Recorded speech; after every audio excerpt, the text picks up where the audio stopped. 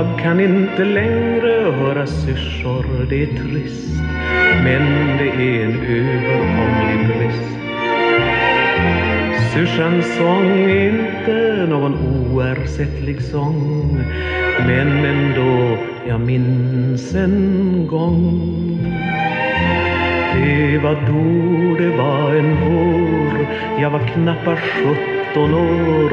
Och han var förstås min unge Casanova Han sa varmt och ömt Vad, det har jag glömt. Men det var någonting han lovade.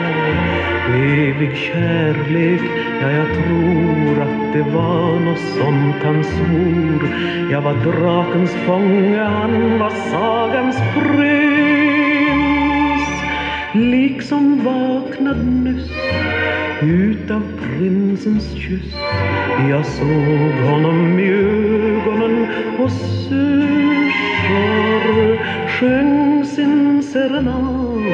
Jag minns att jag var glad Men det är också nästan allt jag minns.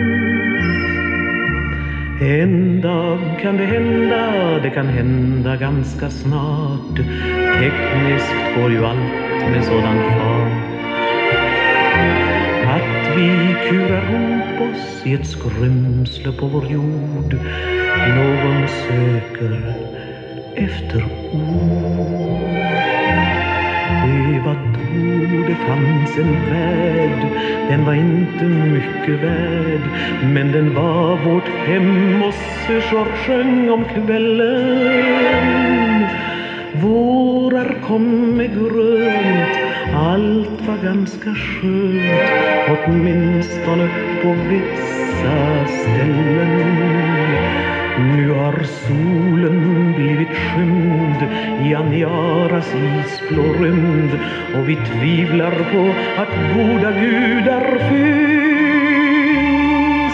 Men jag minns en gång syrsor sjöng sin sång för den som hade öra till att höra.